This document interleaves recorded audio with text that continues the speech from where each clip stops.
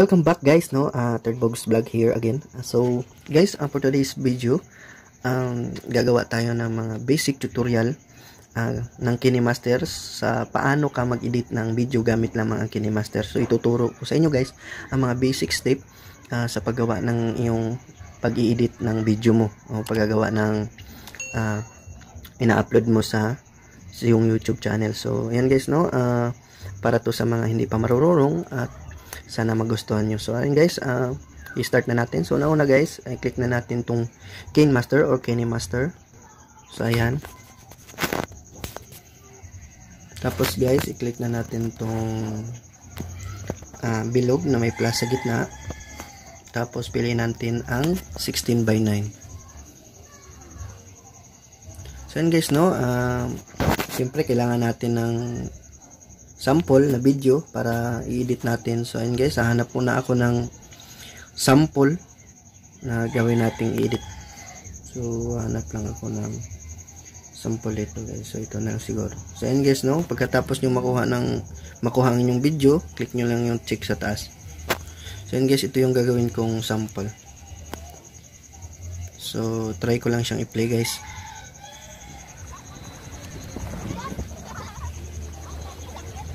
So, ayun guys, no? Um, Unang-una guys, uh, kung gusto nyo maglagay ng title or later, uh, gusto nyo uh, maglagay ng ano, parang thumbnail na ganyan o title, kumbaga. So, kailangan pumunta kayo sa layer para maglagay ng text. So, yan guys, uh, may nakalagay dito, media, epic, sticker, text, tapos handwritten. So, clean nyo lang tong text. Uh, kung maglagay kayo ng title, uh, lagay nyo lang uh, beach resorts. So, yan. So, yan guys, no? Uh, ito na, lumabas na siya. So, yan guys, palalakihan nyo yan guys. Depende sa inyo. At kung gusto nyo ng font, eh, meron tayong font dito guys. Click lang natin tong dalawang E So, ayan guys, no, pipili kayo ng font dyan. Ayan. Tapos, drag nyo guys kung gaano ka laki yung gusto nyo. So, ayan, pwede dyan. Lagay nyo dyan sa saan gusto nyo. So, tapos kung gusto nyo namang palitan ng ano yan, color, click nyo lang tong katabi ng scissor guys. May, pito, may parang puti na parang square. Click nyo yan, tapos sumanap kayo ng color na gusto nyo ilagay. So, lagyan na natin ng ah, ito. So ayan pagkatapos yung mapili guys ah, click nyo yung check.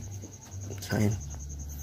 So ayan guys kung gusto nyo namang lagyan ng animation so ang purpose nyan guys ang animation siya yung nagbibigay kung anong design niya sa paglabas ng yung text. So ayan guys click nyo itong in animation ayan may fade pop uh, slide right or side left or clockwise. Ayan so ayan guys no? Mamili lang kayo kung anong gustuhan nyo tapos click nyo yung check sa taas.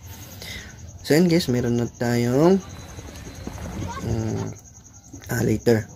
Susunod guys uh, kung gusto naman yung hinaan tong hinaan or palakasan tong video nyo video sound nyo i-click nyo lang tong video na in-upload nyo. Ayan. Yan click nyo yan yan. Tapos click niyo itong may audio parang speaker na sign. So ayan. Tapos ayun guys no uh, pwede mo siyang palakasan. Ayan try natin palakasan. So play natin. Uh, di ba? Di ba lumakas guys? So balik tayo doon kung gusto niyo namang kunan ng sounds eh zero nyo lang yan wala na yung sounds. Di ba so ayun guys no? Madali lang ah uh, lagyan lang natin ng konting sound. So ayan so yun guys ang susunod natin gagawin ay paano tayo maglagay ng background music. So ayan guys no? Um, pumunta lang tayo sa audio. Ayan. May sign na music. Click nyo yan. Tapos sumanap kayo ng uh, hindi uh, copyright na music guys. So ayun guys, uh, pamili lang kayo. So ito lang gagamitin ko. Ayan, sample lang to. So ayun guys, no? Click nyo yung plus. Tapos check. So ayun guys, uh, meron na tayong music. Uh, click, i-play lang natin to. Ayan.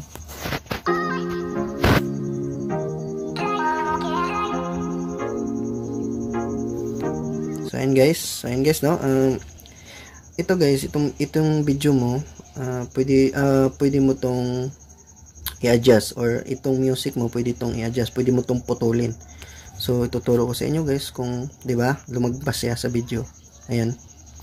Ayan guys no kung gusto mo niyang putulin yung tapat na tapat lang siya uh, pamunta lang i-slide nyo lang dito. I-click nyo tong music guys. Ayan. Click nyo yan tapos i-slide nyo pababa. Tapos click nyo tong trim and split so ayan click at i-click nyo tong split and play head. Ayan.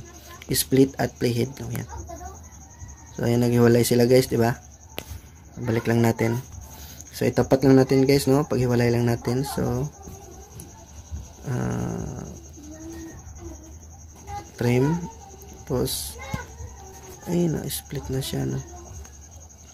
So ayun okay na yan guys no? Na split ko na nga siya. Uh, ayan putol na siya So yun guys, uh, susunod natin gawin, uh, kung gusto naman tong palakasin yung background music nyo, uh, pumunta lang kayo, click nyo yung background music, tapos ditong audio, tapos na yan, kung gusto nyo palakasan, yan, lagay nyo yung pahinangan or palakasan, or 100 lang, so yan. So yun guys, ang susunod natin gagawin guys, uh, paano tayo maglagay ng uh, uh, animated green screen subscribe button. So, ayun guys. Una-una guys, meron na kayong dinownload na screen green screen subscribe button. So, ayun guys, pumunta lang tayo sa layer at media. Tapos, hanapin yung download nyo ng screen button, green screen subscribe button.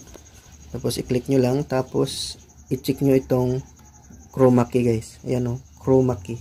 Click nyo lang yan. Tapos, i-enable nyo na guys. Ayan, enable. Tapos, check. Nawala yung green, di ba guys? So yun guys, uh, kung idadrag mo siya, makikita mo yung subscribe. So click mo yan tong green sa baba. Yung subscribe button mo. Click mo yan. Ayan. Tapos depende sa'yo kung gaano kalaki yung lagay mo. Tapos kung saan mo ipisto. So yun guys, no, pwede siyang palakihin or paliitin. Tapos ilagay nyo lang sa saktong lagayan. So yun guys, para maganda tingnan. So pagkatapos nyo ma-edit, i-click yung check. So yun guys, no, play natin. Hmm. So,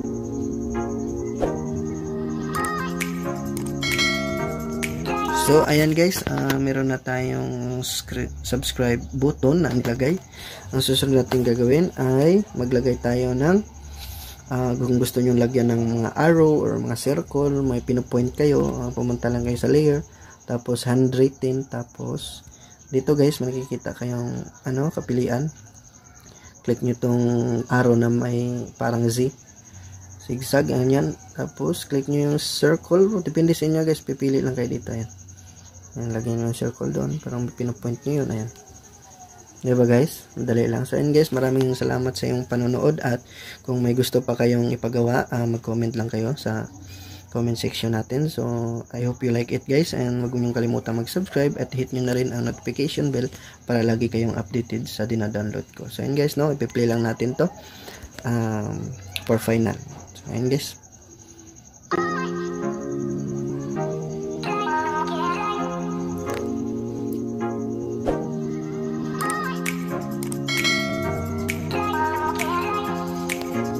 So, ayan guys, uh, pagkatapos nyo yung mas ma-edit, uh, pwede nyo yung i-save. So, ayan, sa right side upper, click nyo yung save. So, ayan guys, maraming salamat. Once again, this is Third Box Vlog. Uh, keep safe.